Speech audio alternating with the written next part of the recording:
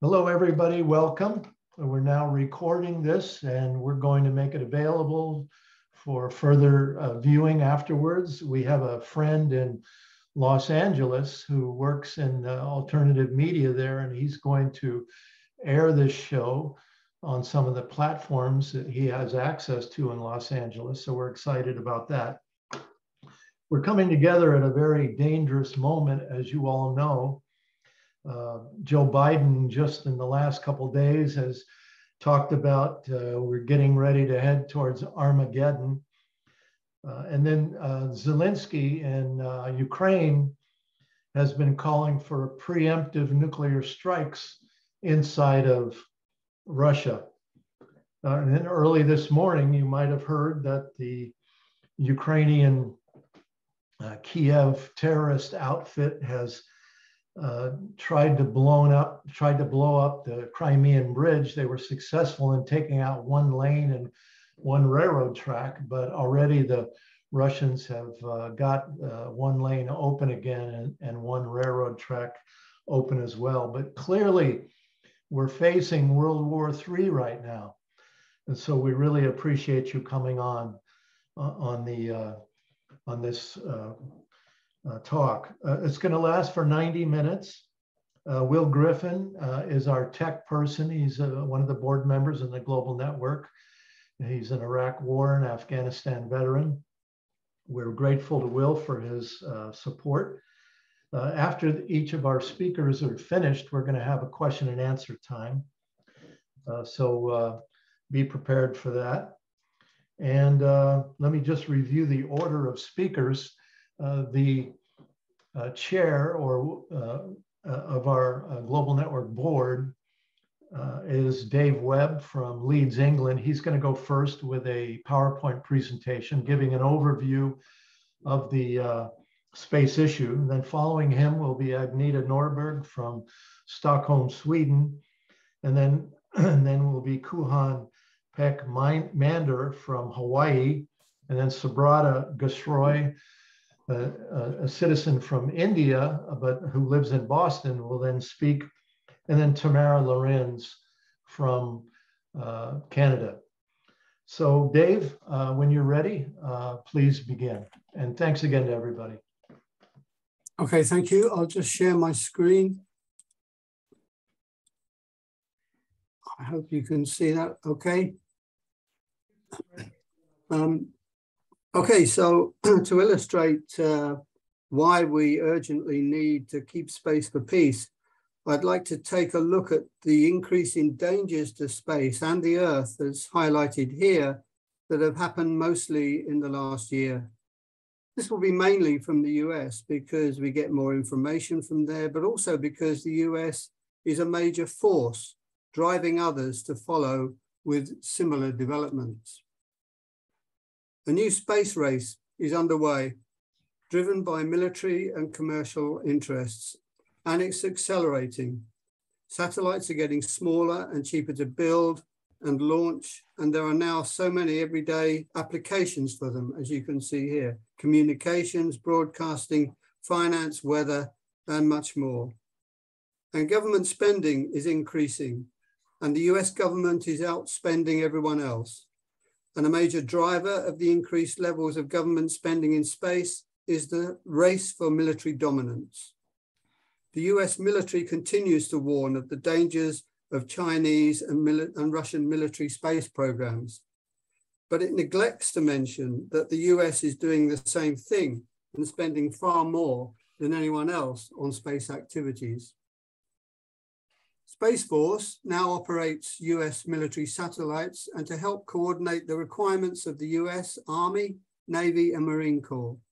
The Pentagon is developing a military internet in space made up of military and commercial satellites with a new Space End crypto unit to help protect the network from cyber attacks, jamming, and other electronic interference. The Space Operations Command at Peterson Space Force Base in Colorado has a unit called Space Delta 6 to develop cyber warfare techniques and support military satellites. And Space Force also has a unit called Delta 9, established in July 2020, which is developing the secretive X-37B military space plane. There is also a new unit called Space Delta 18, which acts as the National Space Intelligence Center. It was activated in June to provide intelligence on threats, intentions, and activities in space, and it's working to establish a national test and training complex to create accurate digital training environments for space wargaming. Currently, Space Force does not have an interest in activities beyond the Earth's orbit. Of course, that may change, but there are others who are already looking at the possibilities of using nuclear energy to power deep space missions, bases on the moon and Mars, and the mining of planetary bodies. And aerospace corporations, the nuclear industry, and Space Force are looking at nuclear powered satellites as a way of either dodging space weapons or perhaps powering them. GN board member Karl Grossman continues to point out that the new space race is going nuclear and that the US is pouring money into the development of space nuclear power, despite the possible dangers of catastrophic launch failures and the effects of pollution on Earth and of space objects. NATO's 2019 space policy recognized space as a new operational domain, making it equally as important as air, land, sea, and cyberspace. In October 2020, the NATO Space Center was established at Allied Air Command in Ramstein, Germany. And at the 2021 Brussels summit, NATO recognized that attacks to, from, or within space could lead to the implementation of Article 5 of the North Atlantic Treaty, which states that an attack against one NATO member is considered as an attack against all members. So a cyber or space attack could be considered an act of war. Other international military partnerships include Space Force's Operation Olympic Defender, which was established to deter common adversaries and hostile acts in space, and a combined space operations initiative in which the US partners include Australia, Canada, France, Germany, New Zealand, and the UK. They are working together to improve cooperation, coordination, and interoperability opportunities. And these military alliances include collaboration across a range of activities, such as countering, determining, deterring, denying, or defeating hostile acts or interference. It's clear that they are aimed mostly at Russia and China. The increased activity in space is causing problems with overcrowding and debris. Different types of orbits are used for different satellite roles, as shown here. And it's the low Earth orbit region that has seen the biggest impact in recent years because it's used for communication, observation, and surveillance. As of April 2022, there were nearly 5,500 operational satellites in orbit around the Earth, and 4,700 of them were in low Earth orbit. And these numbers are set to increase rapidly. Private companies such as SpaceX, OneWeb, and Amazon, and state owned companies such as China SatNet are setting up mega constellations and proposing to imminently increase the total number of satellites by 65,000. Altogether, over 100,000 have been proposed in the next few years to develop faster and more global network services, including 5G for commercial and military use. All these new space objects generate a range of issues. Satellites can leave visible tracks in the night sky, and mega constellations are interfering with the work of professional astronomers. The overcrowding of low Earth orbit is also leading to near, miss, uh, near misses and collisions in space. Satellites in this region typically have lifetimes of seven to 10 years, after which they become debris. As debris increases, collisions become more likely, creating more debris. The self-sustaining cascade of collisions could eventually result in a cloud of debris that rockets may not be able to penetrate, confining us to Earth. And this has become known as the Kessler syndrome. Satellites no longer being used can also be deorbited and burn up, traveling through the atmosphere. However, this creates a shockwave and leaves behind chemicals that can change the chemistry of the upper atmosphere and damage the, the ozone layer. In February, 40 of 49 satel Starlink satellites launched a week before were burnt up in the atmosphere as the result of a geomagnetic storm. The storm caused the atmosphere to warm and expand, increasing the density at low orbital altitudes. The resulting atmospheric drag led to the deorbiting of new arrivals. And in August, large pieces of space debris from a SpaceX mission were found in snowy mountains in New South Wales. Reports matched a SpaceX spacecraft which re-entered the Earth's atmosphere in July, months after being launched in November 2020. The spacecraft was seen breaking up above the area of Australia where the debris was found, and the re-entry was seen and heard for miles around. In September, space debris was also used to, to said to be responsible for the brilliant fireball that was seen in the north of the UK. But it isn't just re-entry of satellites that causes environmental problems. Launch accidents are not that uncommon. And when they occur, they create a considerable amount of environmental destruction and contamination. Even if successfully launched, rocket, rockets pollute the atmosphere, damaging the ozone layer and adding to climate change. Many of these effects are being ignored or brushed away. Some companies claim they use zero carbon green fuels, but the heat from rocket exhausts can produce nitrous oxide, a major contributor to climate change from atmospheric nitrogen. In addition, in addition, pesticides used to grow the so-called carbon neutral biofuels pollute the land and the fuel must be processed, requiring a non-zero carbon footprint. The increase in satellite launches is being accompanied by a proliferation of spaceports from which to launch them. This map shows the current global distribution of spaceports, but in the rush to cash in on the poorly regulated space boom, space corporations are promising income and jobs to communities if they agree to host new spaceports. A recent edition of the GN Space Alert reported on sites in Indonesia, Guyana, New Zealand, and the United Kingdom and the United States, and others have joined since. Many communities are not taken in by the promises made by their object, but their objections are largely overruled.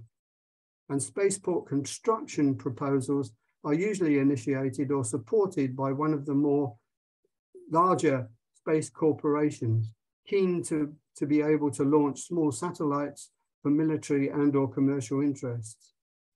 People need to know the truth about what the real repercussions might be on their local communities. In the UK, a report called For Heaven's Sake, recently launched by CND and Drone Wars UK, outlines the role the UK is playing in the militarisation of space.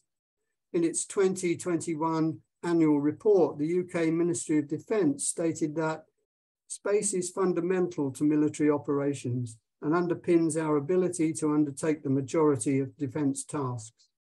In April, the commanders of the US and UK space commands signed an enhanced space cooperation memorandum of understanding to improve coordination and interoperability in order to maintain freedom of action in space, optimize resources, and enhance mission assurance and resilience. And further discussions are being held to further strengthen this partnership.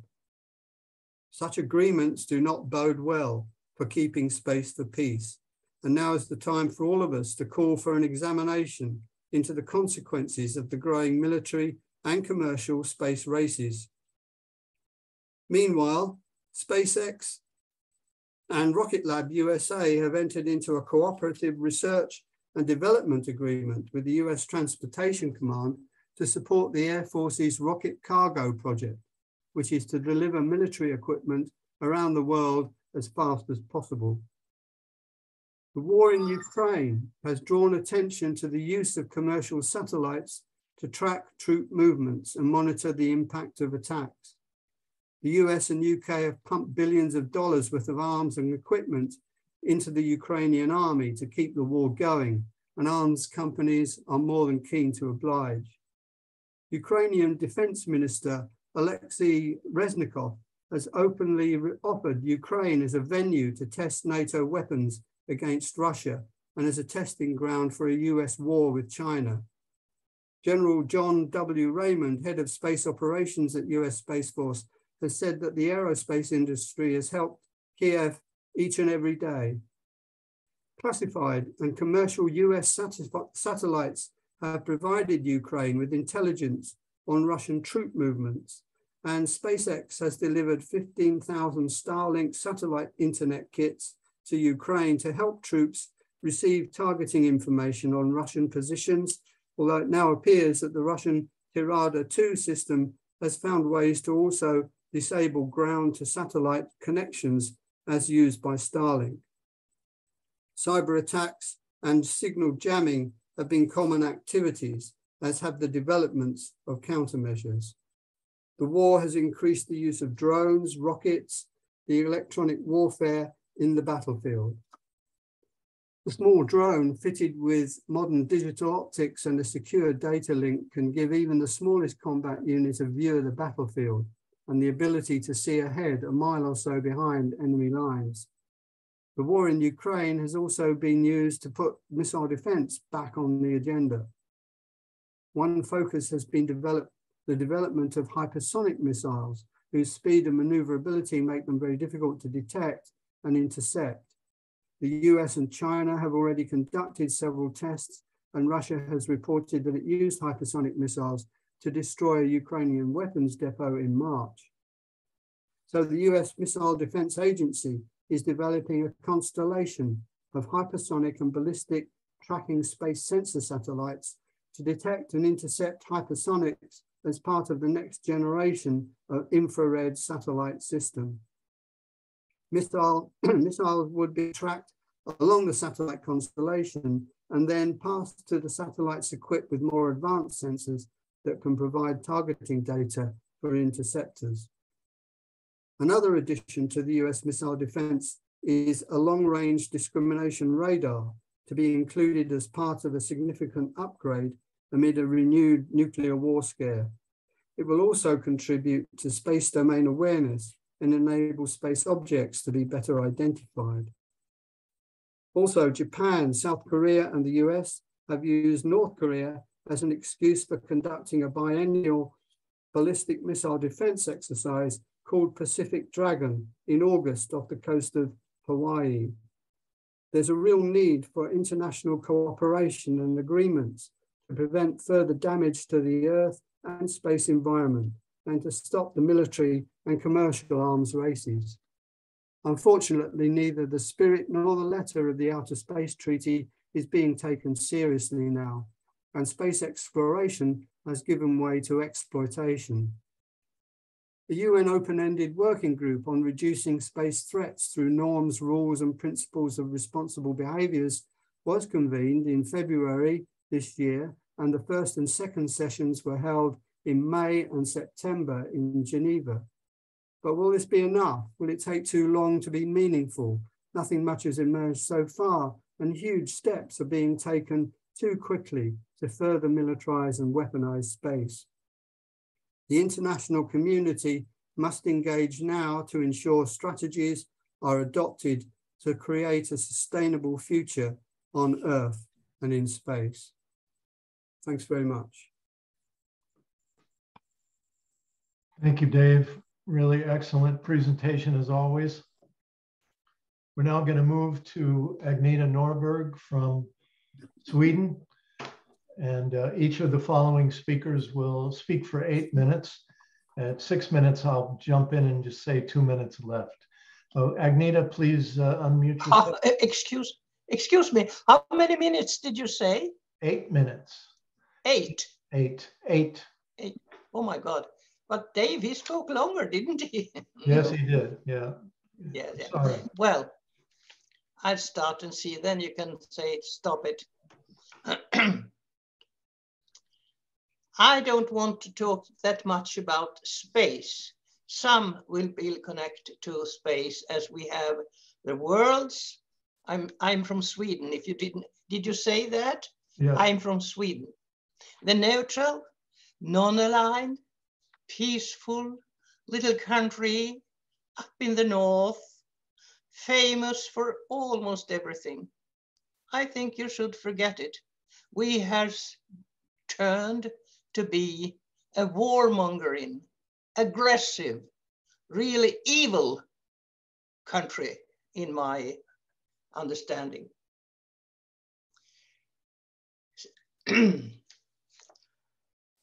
every day, every day in my media in Sweden is filled with stories about Russia's evil, about Russia's invasion of Ukraine, which most probably will end up in attacking Sweden.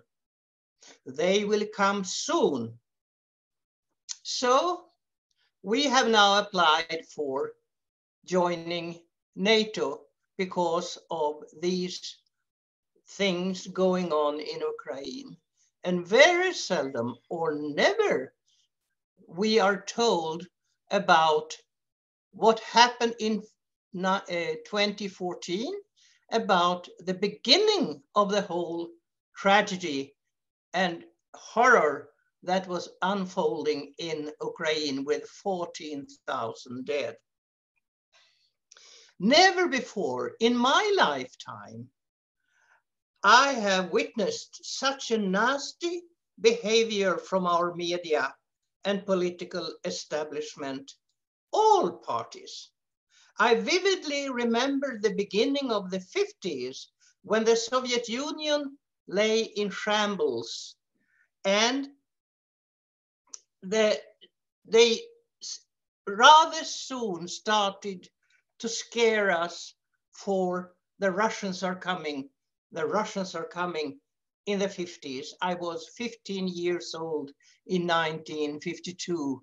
And I remember still how scared I was for the Russians. And in early 50s, Senator McCarthy depicted Soviet Union as a horrifying threat to us all. And his propaganda worked even in Sweden but the new onslaught on Russia is worse. Those who are benefiting from the new Cold War are arms factories. We know that. Lockheed Martin, General Dynamic, General Electric, Boeing, Raytheon, and Swedish Saab and more. One of the bosses for these warmongering when the war in Ukraine started was in TV this spring in Sweden and openly expressed his satisfaction over this wonderful opportunity to sell weapons to Ukraine.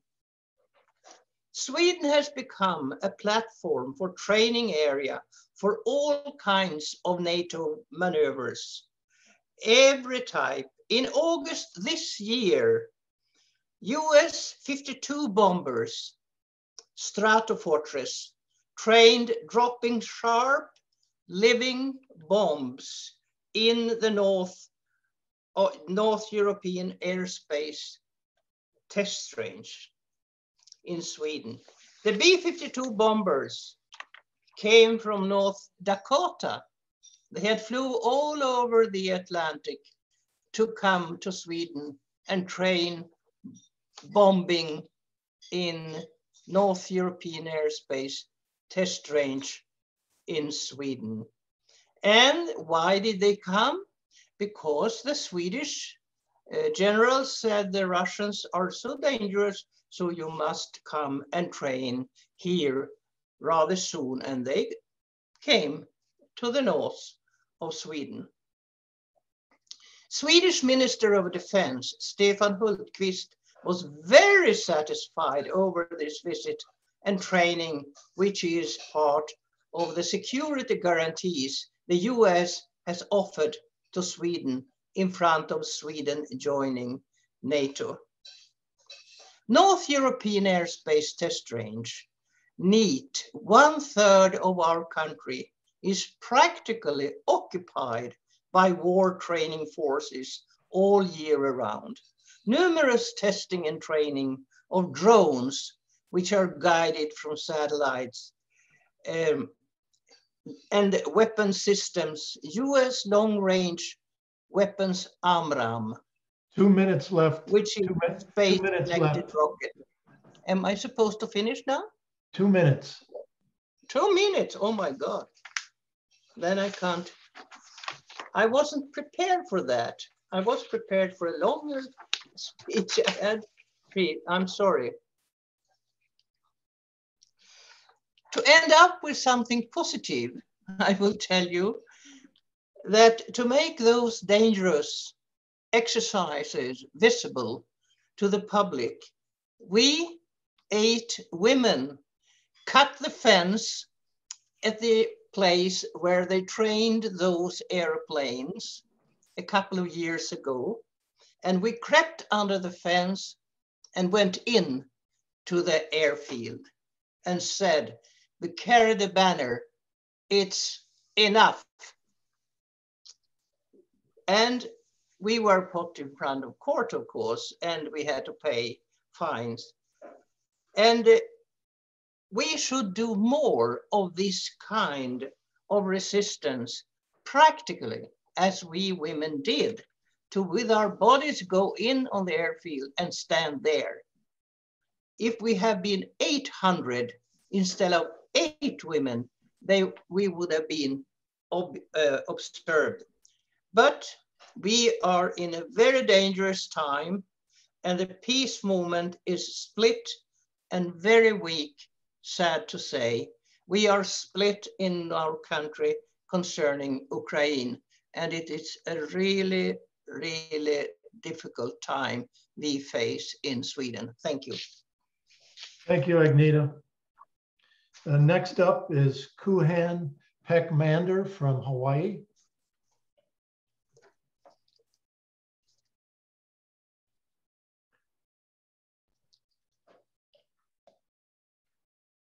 You're muted. Am I unmuted?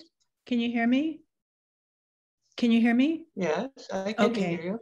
Great, thank you. So um, thanks for, every, everyone. I come from Hawaii. I'm doing my talk on Pacific peoples and Pentagon robots, a clash of paradigms. You see, US Congress cites China's swelling geopolitical influence as the reason to garrison the globe, along with Russia's, and it's pulling the world ever closer into a confrontation between nuclear superpowers, this time with China as well.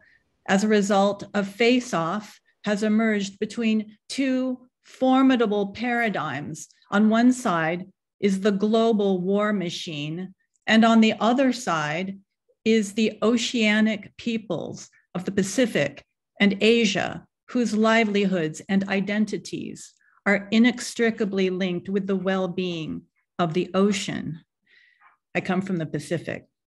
One paradigm brings to bear the full necro power of toxic masculinity, the artificial intelligence, robots, nukes, hypersonic weapons, ubiquitous surveillance. In short, robot wars controlled from space. Indigenous islanders who have been invisibilized for far too long. They embody the other paradigm. They have been the caretakers of the ocean for millennia.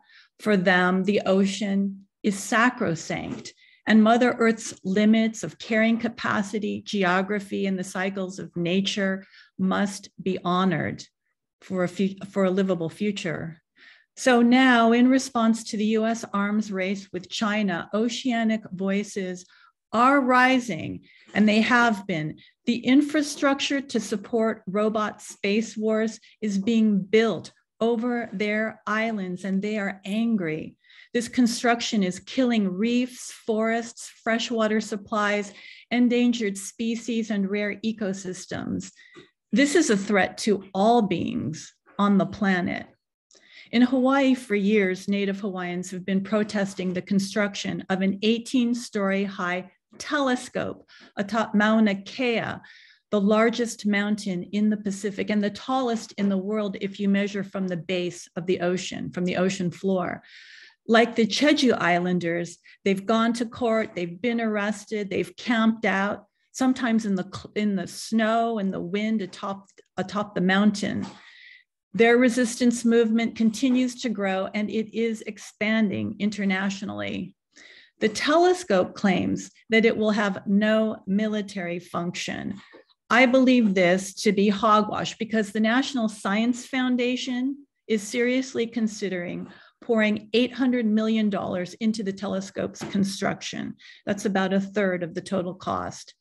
The NSF is hugely supported by the US Department of Defense. So, one of its top priorities is to help develop the cyber infrastructure for waging robot wars in space. And when that happens, and it's well on its way to doing so, it will be a game changing metamorphosis in warfare. Whereas the last century's War Command Center was at Pearl Harbor, this century's command center is in space in the cloud. Mauna Kea is as strategic for the era of satellite warfare as Pearl Harbor was during the era of naval power. From the summit of Mauna Kea, the line of sight for surveillance of satellites and missiles is clear in all directions for an entire hemisphere. There is no better strategic spot for an NSF telescope or for the, the, a Space Force base. And that's why the Space Force is moving to the Pohakuloa training area, the largest bombing training site in the Pacific, located at the foot of Mauna Kea. But the Pearl Harborization of Mauna Kea will make the Big Island of Hawaii a premier target for any adversary on the planet, which is none too reassuring for those of us who call the Big Island home the US has effectively inverted the sacredness of Hawaii for its own nefarious purposes. Native Hawaiians call Hawaii the piko or the belly button of the Pacific, the place of, the of birth. The Pentagon calls it headquarters for the Indo Pacific Command. It is from the Indo Pacific Command that the US casts its net of empire over the entire blue hemisphere, coercing islands in the Pacific and Asian nations to participate in its full on arms race with China. Needless to say, the weapons dealers couldn't be any happier over the idea of war with China. The money is in robot wars controlled from space. Only an adversary as distant and far and powerful as China can justify to Congress to green light the costly research and development of high ticket robot war items like smart missiles, unmanned submarines, remote control rocket launchers, modernized nukes, and all the al- algorithms that go along with that. Two minutes. Okay, the op- all right, the operating system for AI-driven war called the Joint All-Domain Domain Command and Control, or the JADC2, will be overseen by the Space Force. The JADC2, which will be controlled from the cloud, will enable the networking together of unmanned lethal weapons and will render 20th century warfare unrecognizable. The goal is to give the US the ability to summon at once, at any given moment, unmanned military forces to rain terror down on any spot in the world. A swarm of drones, a hypersonic missiles, unmanned submarine torpedoes, you name it, autonomous bombers, and all with the ease of calling an Uber. Military planners say that the era of unmanned warfare, in, this era, victory is impossible without AI, artificial intelligence. They say AI eradicates the so called time limitations of human participation. human participation participation for example the time between launch and strike of an incoming missile could be as brief as say 6 minutes during that time it is believed that humans would be prone to panic and would be unable to, to, to deal with the emotional response to an incoming attack, whereas machines would not. So this kind of um, machine decision making does accelerate warfare, and it is plain to see how as how easily uh, conflict could escalate. In 2010, we saw how an analogous unintended escalation in the financial markets wiped over a trillion dollars off the stock market in minutes driven by trading algorithms feeding off each other in a dizzying spiral. Imagine if those algorithms were controlling not digital currency, but instead weapons of mass destruction. On the islands and in their surrounding waters, robot war experiments take place year round. Unmanned metal monsters are networked together in ghastly war fighting scenarios, decimating all creatures of the sea, great and small. Hi. But the people's movement for a peaceful Pacific will not die. Thank you. Great job, Koohan. Sorry to cut you off. Sorry to cut all of you off, but we want to leave time for people to ask questions and things like that. Next up is our dear friend, Subrata Ghoshroy, who lives in Boston. Take it away, Subrata. Unmute yourself, please.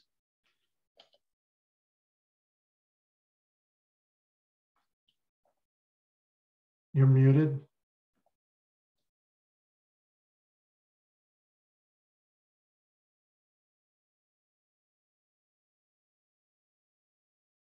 Can you unmute him, Will? Yeah, I'm trying to figure out what's going on.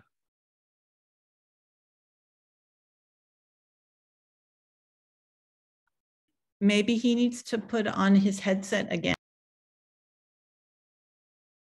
Yeah, whatever you did undo uh, from what you did earlier, Subrata, I think uh, that just cut off your sound entirely. Oh, there we go. Okay, sorry. Yeah. All right, you're back. We hear you. Go ahead. Okay, thank you very much. Uh, sorry about the glitch.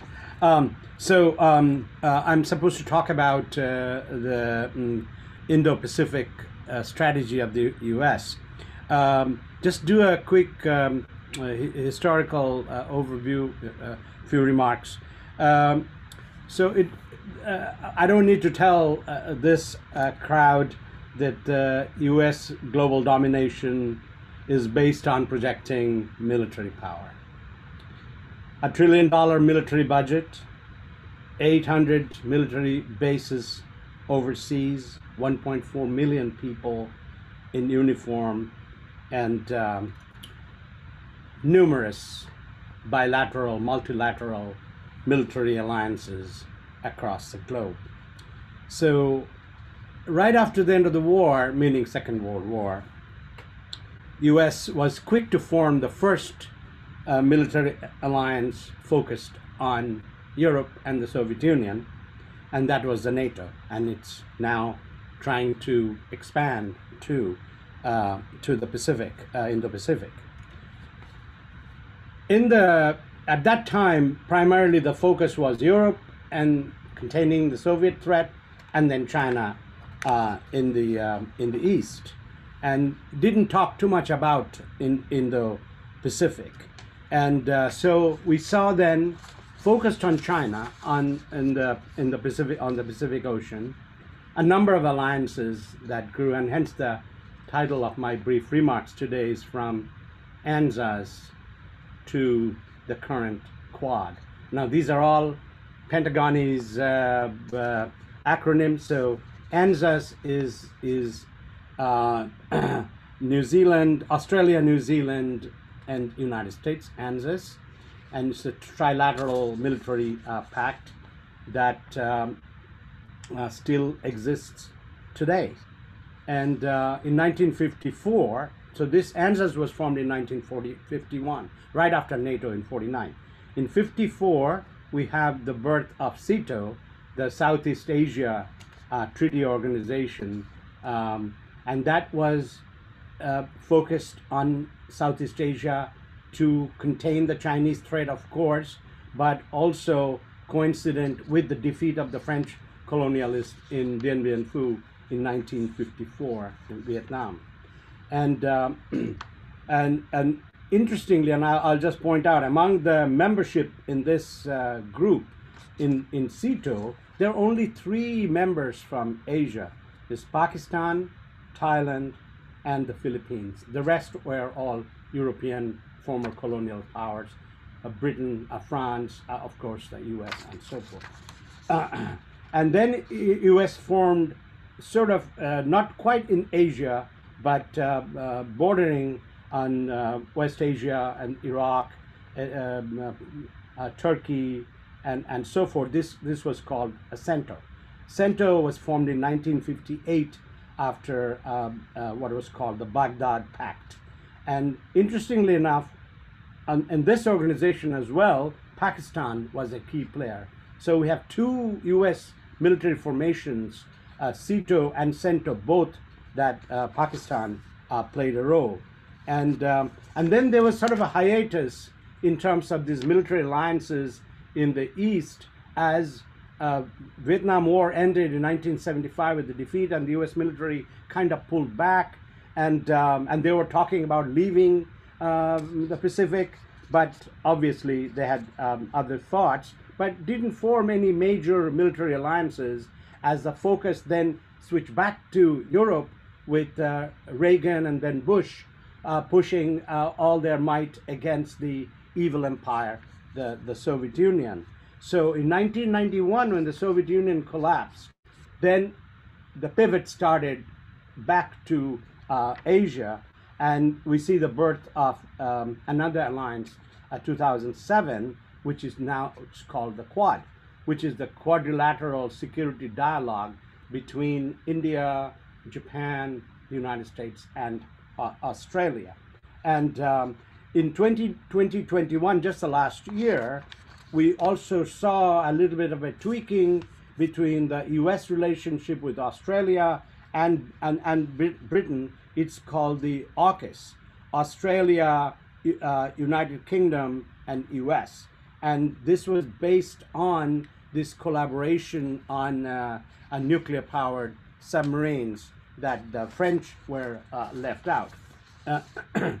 And um, so we are seeing all these things happening. And then in uh, about 2007, when the um, uh, Quad was formed, the focus started become, being now on um, um, um, Asia, I mean, not Asia uh, Pacific, but Indo Pacific. And this this terminology is basically is the US uh, concoction.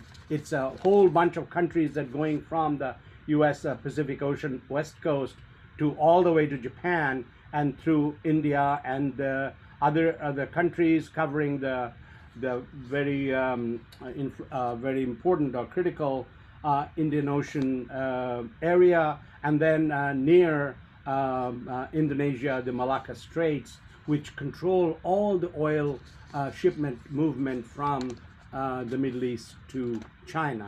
So uh, the, the, the focus now, the two uh, character, uh, basic characteristics of this new focus of attention, the Indo-Pacific is India, and then uh, of course China.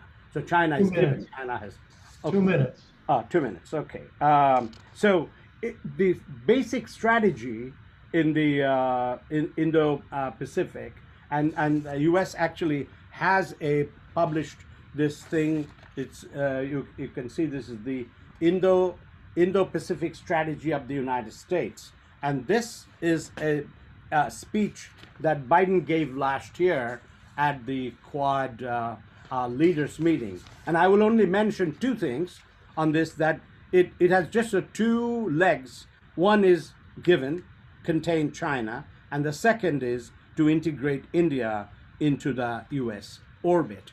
And it's very interesting. Many things can be said about this particular dynamic, uh, India's integration into the US orbit. And this has been going on since 1991. Of course, the neoliberal policies that India adopted quickly after the collapse of the Soviet Union and the tremendous uh, influx of some American capital, but business interests and others in India that um, that they want India to be the linchpin in their new strategy uh, against uh, China. So of course, a lot can be said if people have questions about India's ambivalence and also embracing the U.S. Uh, orbit. Um, uh, I can I can maybe discuss a few things in the Q and A period. Thank you. Thank you, Subrata. Please mute yourself now. Okay, next up, uh, the last person before questions is uh, Tamara Lorincz from Canada. And let me just say that if you have questions, uh, go ahead and put them in the uh, chat now or as we go along, and then uh, we'll uh, refer to those after Tamara does her presentation. All right, go ahead, Tamara. Good afternoon, everyone. It's really nice to be with you all. I'm speaking to you from Waterloo, Ontario, Canada, the traditional territory of the Six Nations. And I would like to share with you some troubling developments over this past year related to Canada and space under the Liberal government of Prime Minister Justin Trudeau. And I'm going to share my slides with you now. Okay. So last year, in August of 2021, US Secretary of Defense Lloyd Austin and Canada's Defense Minister at the time, Harjit Sajjan, signed a joint statement on the modernization of the North American Aerospace Defense Command, NORAD. NORAD is a military partnership between the United States and Canada that was established in 1958 and it was founded to protect the North American continent from Soviet attacks. It is very much a Cold War institution. Um, it is regrettably now being modernized and it's contributing to this new dangerous Cold War that we see unfolding. The United States and Canada are exaggerating the threats from Russia to justify spending billions of dollars to upgrade NORAD um, and this will only serve to enrich American and Canadian arms dealers. For NORAD modernization, Canada announced $5 billion uh, for the next five years and $38 billion over the next 20 years, even though Canada has failed to, to meet its climate targets. With all of this new funding, there will be new integrated interoperable capabilities from the seabed to space. So new radar stations, command and control upgrades, additional air-to-air refueling aircraft, advanced air-to-air missiles for fighter jets, upgrades to Canada, uh, Canadian Armed Forces infrastructure in the north, and additional funding to augment key space projects. And these are pri primarily related to satellites used for um, used in war for surveillance and targeting. And then five months later, in February of this year, the United States, Canada, Australia, France, Germany, New Zealand, and the United Kingdom released the new Combined Space Operations Vision 2031. And this is something that Dave just spoke about. Um, so it is a guiding document to maintain uh, space dominance by these six Western countries. At the same time of this sp space vision was announced, Canada also announced its intention to buy the F 35. So Canada is planning on buying 88 new Lockheed Martin stealth fighters for a cost of $19 billion. However, this deal hasn't been signed yet, and we are still working very hard to prevent it. And then at the height of uh, the summer, in July, when Canadians were on holiday and they were not playing, paying close attention to the news, the Department of National Defense announced Canada's version of Space Force. It's called 3 uh, Canadian Space Division. It's a new division within the Royal Canadian Air Force, and it will be based at the Ottawa headquarters. And um, this new Canadian Space Division will be expanded with a doubling of personnel and a much bigger budget. So, on top of uh, NORAD modernization, Vision 2031, and Canada's new space division is NATO. 10 months ago, in August, Canada, uh, sorry, NATO Secretary General Jens Stoltenberg came to Canada for a three day visit. He went to the High North, Cambridge Bay, and Nunavut, where there is the NORAD radar systems. He also went to Cold Lake, Alberta, which is the site of Canada's largest um, Air Force Base and Air Weapons Range, and where the new F 35 fleet will be stationed, uh, unless we can stop it. In media interviews while in Canada, Stoltenberg praised us for modernizing NORAD, buying fifth generation fighter jets, and for increased military spending. He said Canada needed to do all of this in response to Russia's military buildup in the Arctic. During Stoltenberg's visit, he also raised the issue of ballistic missile defense. There continues to be intense pressure on the Canadian government uh, to participate in US missile defense, which is extremely provocative, and we are trying to stop it. So Canada is spending billions of dollars to, mod, uh, to militarize space um, with the US and other NATO allies, and Canada is also spending billions of dollars to militarize the Arctic through NORAD. Yet there are severe social and environmental needs in this country that are being ignored. So, Indigenous people in Canada's north have unsafe housing and they have disproportionate levels of poverty. Canada is also totally ill prepared to deal with the climate emergency. Hurricane Fiona caused extreme damage to Atlantic Canada last month, and there are many coastal communities that are still without uh, power two weeks on. What Canada should do is withdraw from NORAD and NATO and work with the international community through the UN on a on a plan for peace in space and peace in the Arctic. We need to cooperate with Russia and China, not antagonize them, provoke them, and cause more conflict with them. Two weeks ago, during the high level debate on, um, of the UN General Assembly, Russia's Minister for Foreign Affairs, Sergei Lavrov, called for a comprehensive ban on the deployment of weapons in space. He mentioned a draft treaty that Russia and China have brought forward a number of times at the Conference of Disarmament. By contrast, the United States and Canada spent most of their UN speeches attacking Russia and they said very little about they said nothing about space and very little about peace. I listened to many of the speeches from the global south countries um, and almost all of them mentioned the need for for peace, um, ending the war in Ukraine, reducing military spending, and the need for global cooperation to achieve the UN Sustainable Development, Development Goals. I want to encourage you to listen to the UN speech by Costa Rica, a country without a military.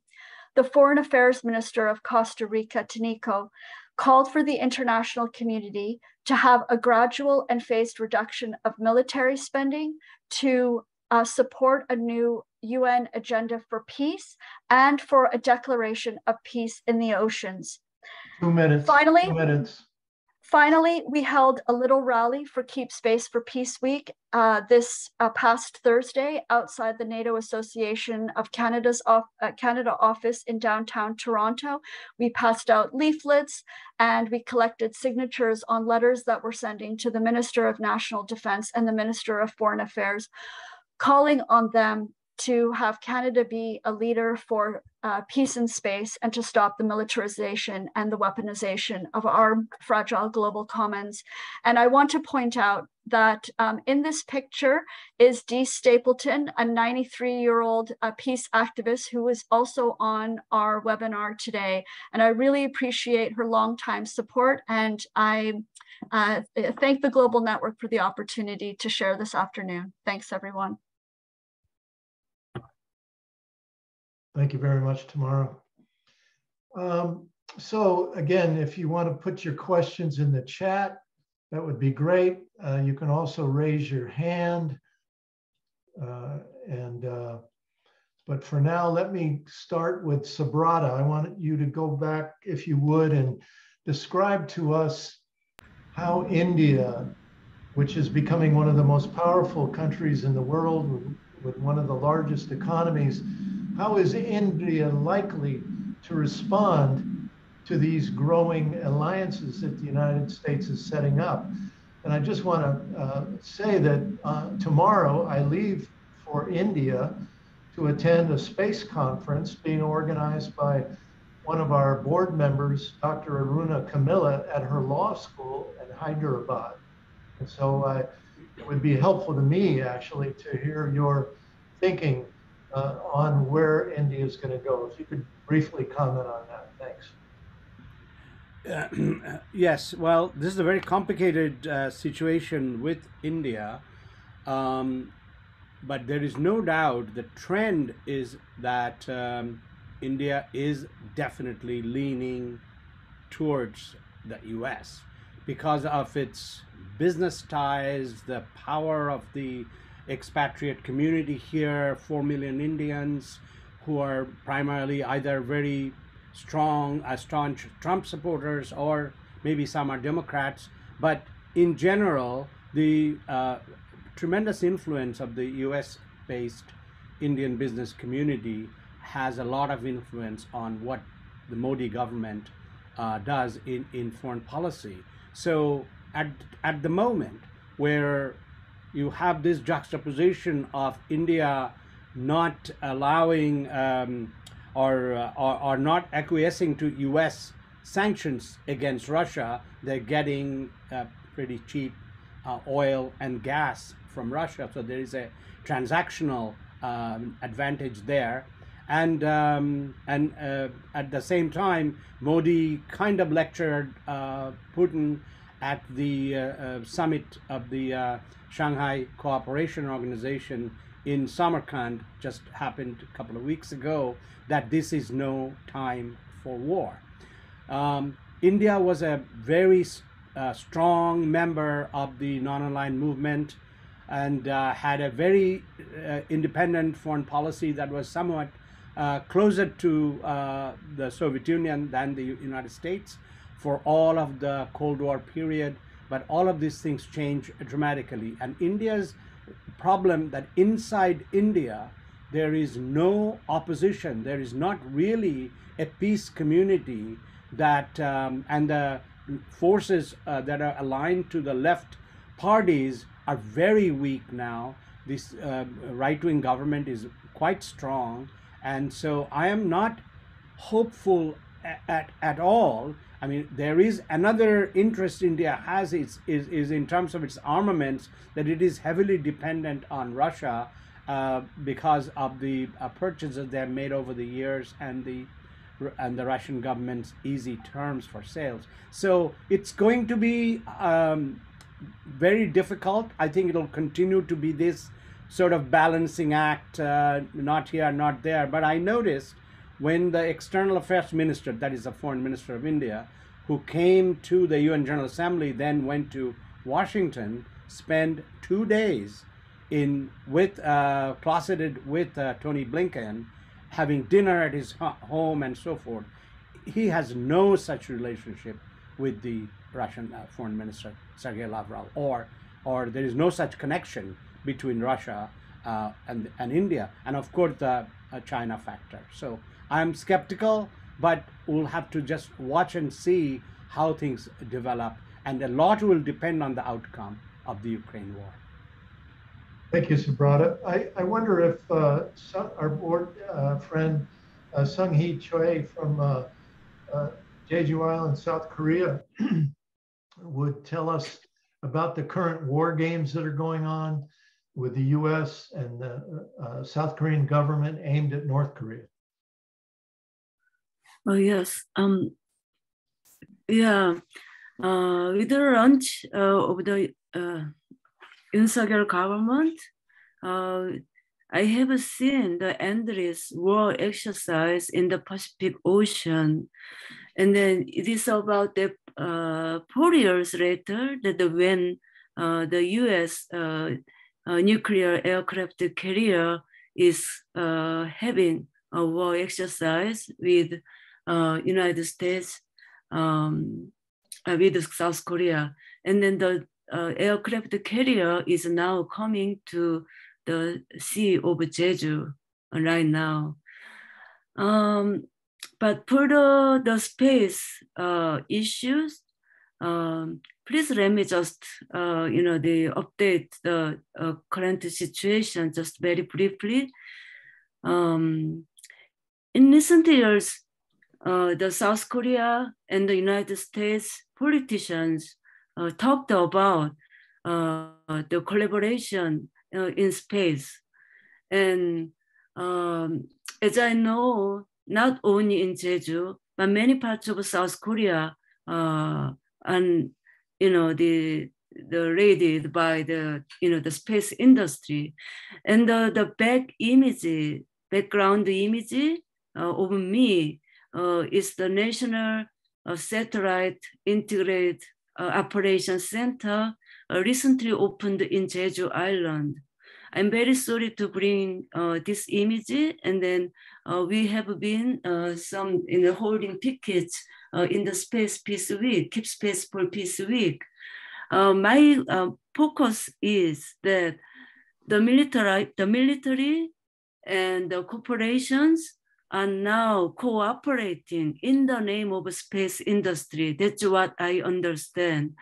And the Jeju Island governor is recently talking about uh, the rocket uh, launch uh, site uh, and the space training center in Jeju Island. So the, a few days ago, um, you know, the, the, we organized the press conference uh, you know, with the co-statement signed by 19 uh, groups.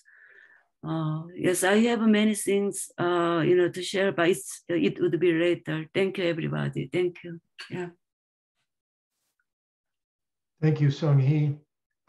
Um, Tamara, there's a question about what could be done to strengthen the peace movement across Canada. Would you comment on that, please? Well, thanks for the question. And I see that it's from Ed Lehman, who is very active in Regina with the Regina Peace Council. So, two years ago, we set up the Canada wide Peace and Justice Network to try to reinvigorate and strengthen and unify the peace movement in the country. I'll put a link uh, for that in the chat. So, we are doing our best with very limited resources to to try to uh, you know bring peace out into the to the public. We unfortunately don't have many political allies. We don't have members of parliament that we can work with closely on on peace issues which is which is really problematic. And um, and you know often we get ignored in the media but we keep trying. Um, i found that uh, doing some disruption sometimes can get attention to our causes and to get us into the media. But um, you know, we're continuing to work. We do. Uh, um, we are participating. Canada is participating, for instance, in the big UNAC, the United um, Anti-War Coalition in the United States, has done a, a call to action back to the streets, end endless wars. Um, and so we're going to be out in solidarity across Canada with UNAC from October 15th to 22nd. We're having a, a, series of rallies across the country, and the Hamilton Coalition to Stop the War is having a big teach-in. So that information is up on our website, the Canada-wide Peace and Justice Network, and you know we keep we keep trying. We keep trying. And it's great for us to be in solidarity with the global network and with peace groups around the world. Many of many of them, you know, on this call today. There's another question about uh, are we in contact with any peace groups in Russia? Uh, just actually in the last few days, I was in contact with the leader of uh, Russian Veterans for Peace. Uh, the uh, one of the key founders of U.S. Uh, Veterans for Peace recently died, Jerry Genesio, some of you might know uh, Veterans for Peace was founded in Maine. Uh, he was a, uh, a Mainer. But anyway, I sent the uh, information to the leader of Veterans for Peace in Russia. He was very sad to hear it because it was Jerry Genesio that brought the Russian uh, veterans into Veterans for Peace. When we had our global network uh, study tour to Russia, in 2019, which Kathy and Alex, who were on the call, were there, as well as Mary Beth and uh, a few others, uh, Subrata. And uh, uh anyway, uh, they, uh, several of their leaders came and met with us at our hotel in Moscow. And one thing this Alexander, the president, said to us, he was a Afghanistan war veteran. Most of the members of Russian Veterans for Peace were involved in the Afghanistan war. And he said, We clearly are opposed to war. We don't want to see any war. But this was 2019, remember, if the United States and NATO continue expanding the way they are now, if they continue attacking the Russian ethnic citizens in the Donbass, who since the US sponsored coup in 2014 more than 14,000 have been killed and more than 34,000 wounded. If this continues, he said, Russia will have to respond. And he said, we will support our government uh, against Ukraine and NATO. Uh, so uh, they take that very strong line. Um, anyway, let me go from there. Let me see if Koohan first, and Agneta, and then Dave uh, want to make any comments uh, at this point in time. Koohan first, you, anything? No, thanks.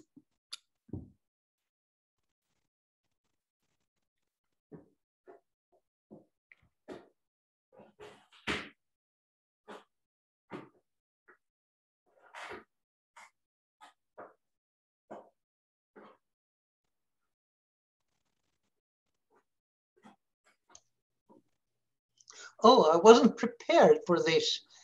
Uh, I'm not sure. I, I would like some to put some questions to what I said about the North and Sweden in particular, development in this uh, dangerous militarization. Uh, it's really, it's really a shock for all of us, actually, that Sweden has now applied to join NATO.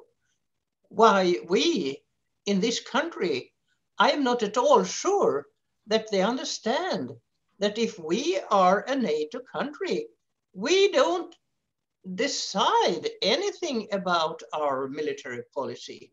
It will be decided in, in Brussels, maybe, and particularly by the US. So I think most of the people in the world are not aware of how they have, um, I should say, I call it a coup d'etat in our country. It was never ever discussed among any. Suddenly the government said, we will apply for joining NATO. That was all. So that's what I could, I wanted to add in, you say this something- discussion. Agneta, could you say something about the present uh, thinking of, you know, the average uh, Swedish citizens about this uh, joining NATO? Is there much, uh, uh, uh, are people upset about it or protesting against it? Or Well, the sad thing to say, there is a strategy from the power and the media. We don't talk about it. We don't talk about this. So uh, you can hardly ever see anything about NATO in uh, newspapers, actually. And um, what I would also add is that it has been a, I think I said it when I spoke, a furious um, whipping up of fear uh, towards Russia since the 14th of February this year. So I, I must say, I, I'm really scared of the, and one thing is that the peace movement is divided. Half of the peace movement, if there is anything left, or the organizations are um, supporting the US policy in Ukraine, for instance. And we who are who see something else, we see what began in 2014 with the overthrow of the government and putting in really Nazi are ruling around the entire Ukraine. This is not mentioned in our media. Very few know about it. Uh, and so I have a, busy to, I'm busy talking about what really happened during the eight years of war uh, towards us, the, the people in Donbass. When so many was dead, as you said, 14,000 died, and they are still dying. So I think we are in a historical moment. We have never experienced that the media is so prepared to drive us into NATO. I think it is historical. We have never experienced this type of media hysteria. Uh, and I think I'm talking about the Western, US, Europe, Japan, uh, Australia, New Zealand, uh, the so-called white Anglo-Saxon people, you can see a big difference in Africa and also India and in China, of course, and in uh, Latin America, you have quite another policy and uh, uh not like example Sweden that we uh, if we had a nuclear bomb I'm sure the sentiment would be we, we have to bomb Russia. It's it's it's crazy. It's really crazy. And I'm so afraid of the what is going on. And most afraid of we are not discussing it. I, I mean on the media silent and we are few in the peace movement who arrange small demonstrations. But what, what really was uh, encouraging was the big demonstration, if you have heard of it in, in the US, in Czech Republic, I think two big demonstrations and in many other places in Europe. Yeah. So they have started to wake up. Yeah, but Poland you. is really stronghold for the US. But I'm not sure that Germany is interested in this horrible development. Thank you. Thank you. Thank you. Yeah, you're right. Uh, Czech Republic has had, I think, about three big demonstrations, 70,000 people each time. Uh, I, on YouTube, I daily watch protests from Germany, small towns, big cities, day, night, weekends, weekdays. Germany is really, really, really turning people out. Uh, you might go on YouTube and just search, and uh, it's really fascinating to see how much stuff is happening there. Dave, could you uh, hold on, Bernie? Uh, let me go to Dave first. Dave, could you speak about the latest in uh, in the UK? You have a new prime minister. Your economy is in big trouble. They say that all the pubs are going to be closing soon, and uh, and what about Ukraine? Is the new prime minister going to continue this situation? Yes, basically. Uh, the new prime minister is, you know, it's unbelievable that we should have a worse prime minister than we had before, but this one seems to be even worse than the last one. And the last one, uh, as you probably are aware, was going over to Ukraine, shaking hands with Zelensky, uh, and increasing the propaganda, the anti Russian propaganda. Um, I guess when there's a war on, you always get propaganda, especially if your country is fighting in a war. But this is ridiculous that we get now. It's very much like uh, Agneta was saying about Sweden. It's very much the same here. You can't speak out uh, and give an alternative view of why Russia is doing what it's doing or or anything about the um, we see war crimes committed by Russia all the time we don't see any war crimes being committed by Ukraine, although we know, you know, that is happening. Uh, and it's just terribly, um, I mean, one of the things I think we're trying to focus on in some conferences and, and discussions is this idea of a hybrid warfare, which is includes, includes propaganda and political activism as a part of generating uh, conflict and creating the conflict going and part of a war fighting strategy. And, and that's what we're seeing at the moment. Uh, we also now looks like we'll be hosting American nuclear weapons again. There's, there's the silos are being prepared for that in Lakenheath, in the airfield in Lakenheath. We've got these F-35s, now two, the same as uh, Canada. It's um, steadily getting worse. We're increasing also, this new prime minister has increased our defense spending to 3% of G GDP. Not that the GDP is very high these days, I guess, but still, I mean, that's still an increase in, uh, in militarism. Um, and there's just not, there's no alternative voice. Even the Labour Party, which was once headed by um, Jeremy Corbyn, who many of you will have heard of, and was totally anti-nuclear, anti-nuclear weapons and anti-war. Um, but they got rid of him. Uh, he was too too radical, I guess. Was asking too many questions, and um, now it's just uh, going along with the same old line as everyone else.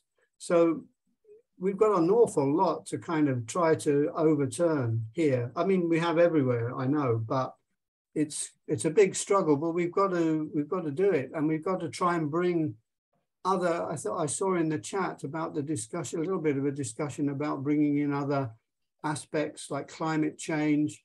There are links to all of these different um, other campaigns, and we have to draw the people's attention to those links and work together with these other organizations because otherwise I can't see how we're going to get out of this terrible mess that we're in. Um, and the, the earth looks like do, like it's doomed unless we can really create a U-turn uh, at this moment. Sorry, it's a bit depressing, but um, it's actually wonderful to meet people like we have on the call here because you know that gives you hope. That makes you realize that there are people out there who do believe in peace and um, uh, and security in the right form, uh, and that's what keeps us going. So I think um, you know it's it's depressing, but we've got to fight on and we've got to make the changes that are needed. Thank you for all that you do, everyone. Thank you, Dave. Uh, Bernie Meyer, you wanted to say something? We have just a few minutes left. Yes, uh, thanks, Bruce. Um, I've been involved with the war, anti-war stuff started from the 60s and with nukes since 74. And uh, I know very little about any acknowledgement about space in the US peace movement. So I was wondering, Bruce, if you could give your sense of things in the US uh, in terms of connections with the peace movement. All right, Bernie, I'll try. Um, and I'll kind of use that to kind of close up.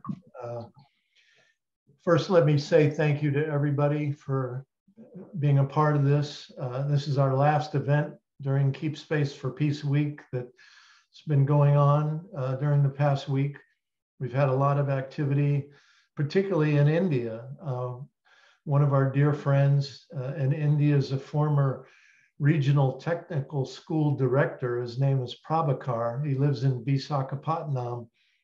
And he's been uh, organizing every day during the past week, uh, going as far away as 200 kilometers away. He's retired now. He has time. He knows all these teachers at these engineering schools, uh, high schools, and colleges. So he's arranged to go to these different schools and spoken to many, many students at a time, uh, bringing them our message. So uh, I put a lot of the pictures he sent me on my Facebook page. Uh, please take a look if you're interested. Uh, but anyway, um, we do have some serious problems in this country.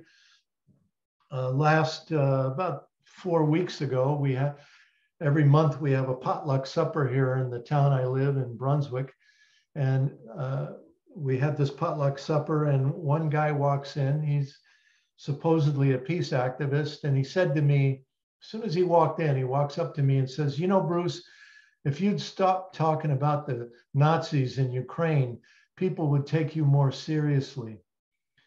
Well you know uh, i told him well you're entitled to your opinion and i'm entitled to mine.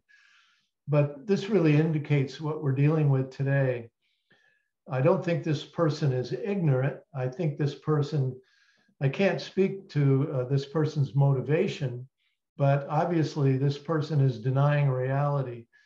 And uh, uh, one of the things I think is serious problem is that we have a democratic a democratic administration and we have Democrats controlling the House and the Senate.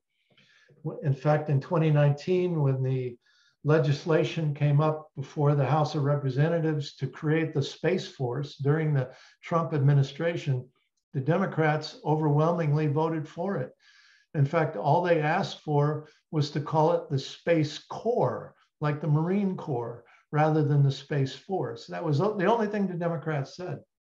So uh, when you have a Democrat in office, you tend to see that large portions of the peace movement peel off and stop working uh, to resist the, uh, the uh, warmongering of the current administration. I remember when Obama was president, you remember he had the drone Tuesdays the Kill Tuesdays, where he would decide who they were going to kill with drones that day. Well, there was a poll taken by the Washington Post at that time asking self identified Democrats, uh, do you support Obama's drone program? And 70% of self identified liberal Democrats said, yes, we do indeed support uh, President Obama. And I noticed just about a month ago, a similar poll came out asking again Democrats, do you support Biden's war on Ukraine? And again, 70% of self identified registered Democrats said they do support uh, Biden's war on Ukraine. So this is a real problem for us. Is that, you know, tomorrow, if we had Trump back in again, I promise you, suddenly our ranks would swell again with many Democrats coming to complain about the Republicans. Uh, I noticed a comment a minute ago from Don Smith saying that uh, that in fact many of the people in the Congress today that are voting against this continued funding for the war Uh, uh, in Ukraine uh, are coming from Republicans. Uh, and I saw an article the other day exploring why are Republicans beginning to vote and speak out against the war in Ukraine. And the article concluded that because their base, their grassroots base, is becoming increasingly opposed to the war in Ukraine. So this is quite a switch. So I think one of the things that we in the peace movement have to do is begin to find ways to reach out to good hearted uh, Republicans who are becoming anti war uh, and finding a way to work with them. Uh, we don't have to agree on every issue, but we can begin to work on something together. I think it, it would be an important step forward. Well, we're just about out of time. Again, thank you all very much. I thank Will Griffin again for uh, doing all the tech work. And uh, we will be posting this. Uh, uh Will is gonna, he's uh, gonna send me the link. I'll post it on our uh, global network and my personal Facebook page. I'll put it on my blog, which is called Organizing Notes. So you can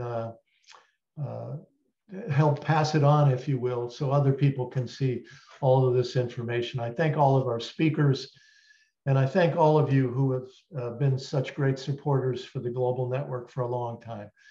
Uh, good luck to everybody. And as I like to say, get organized. Bye-bye. Have a good trip, Bruce. Bye, everyone. Thank you. Yeah, safe travels.